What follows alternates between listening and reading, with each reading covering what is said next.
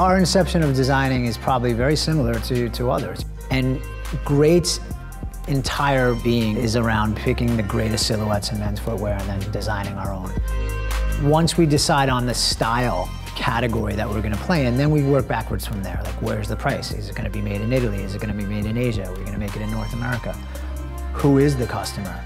And then we start to build from that. And, you know, from there, we, we sample the product, we touch it, feel it, tweak it.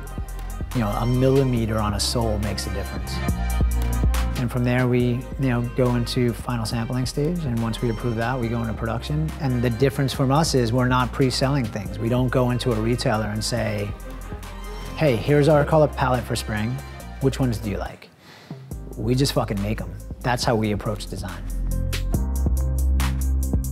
We felt that if we could build an amazing product at a disruptive price and just be patient, that we could expose ourselves to the market and they would react positively. And, and that's what we're finding.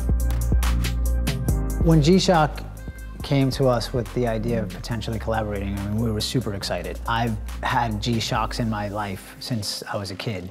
We immediately, you know, suggested a shoe that we thought fit kind of this durability, classic, longevity, and the shoe we decided on was the Pronto. I mean, all white in summer is a classic style, right? You know, white goes with everything and it represents everybody as a kid in the sneaker game. Spring comes around and they're pulling out that first crispy white pair. And I think that that alignment with a watch and a sneaker is like, yep. And I think that's, that's pretty cool. When we do collaborate with brands, we look for brands that we respect and offer something that we wouldn't do on our own. That's what great collabs to me offer, is a complement, not necessarily a sameness.